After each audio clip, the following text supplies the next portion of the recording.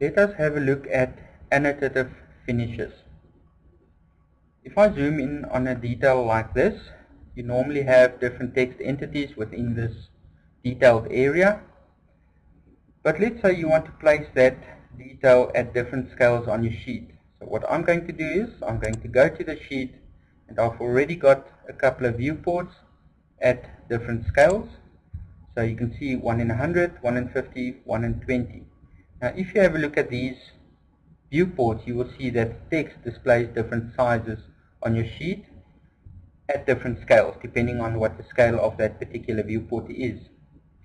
So what I'm going to do is I'm going to go back to model space. You will see with no object selected, object properties will give you options in the list. The first option that I want to point towards is the annotation scale. Currently my model space has an annotation scale of 1 to 50. If I now should select a text entity, you will see it gives me text entities, properties. If I go down, you will see there's an option which says annotative no, which means the text is not annotative. As soon as I change it to yes, you will also find that below that it now gives you an annotation scale of 1 to 50. But that particular bit of text, I don't all, only want to see it at 1 to 50.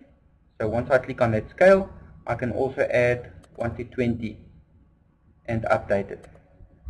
The same I can do for the next text entity. I'm going to make it annotative, yes, and the current scale add 1 to 20 as well as that bit of text. Annotative yes and the current scale 1 to 20. Okay, now the last DPC bit of text I'm also going to make annotative yes but that one I'm going to say I want it at 1 in 50 as well as 1 in 20 as well as 1 in 100 and I'm going to update that. What does it mean? Well, first of all, the text entities in your model space will display differently at different sizes. Now, your model space annotation scale, which is 1 to 50, means currently the way that you see the text is how it will display at the 1 in 50 scale. If I change my annotation scale to 1 to 20, that's now of the model space, you will see the text sizes changes. Now obviously you can see the text moved. Well, it actually didn't move. The origin remained where it was.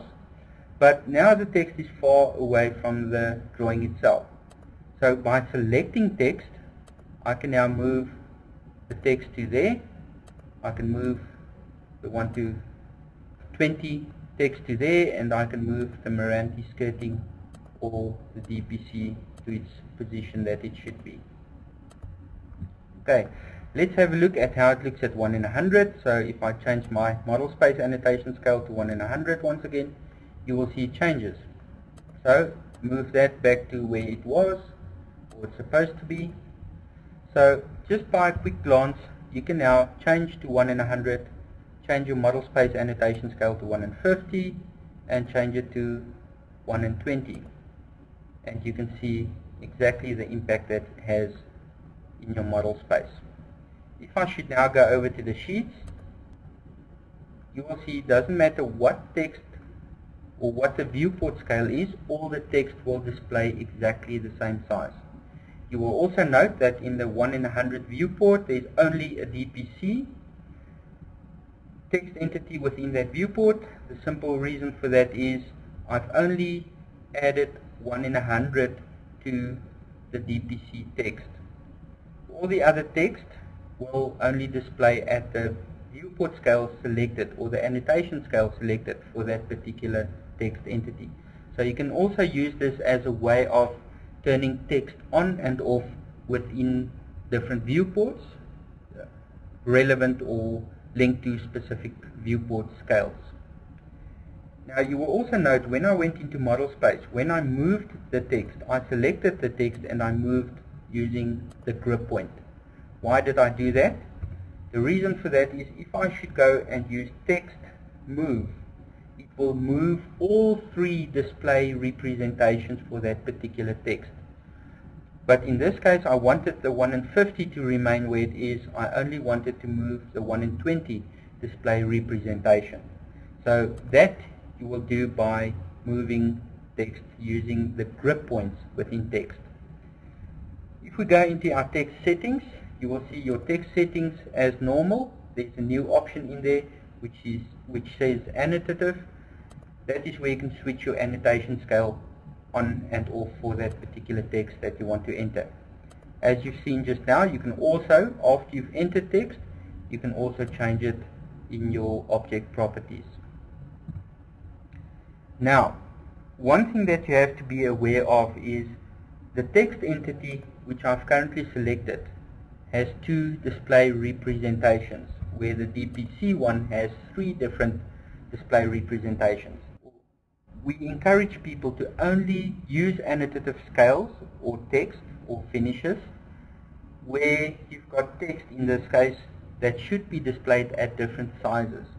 Because it has three or two different display representations, it uses more memory as well as your regeneration times or performance are also affected. So you will only use annotation as long as you've got objects that you want to display at different scales in different viewports. Now the same way that you apply annotation to text, you can also apply it to hatch, dimensions, as well as leaders. Once again, if you have a look at that leader, I've only give it, given it the annotation scale of 1 to 50, which means on the sheet it will only display at the 1 in 50 scale, not at any other scales, as well as the hatch.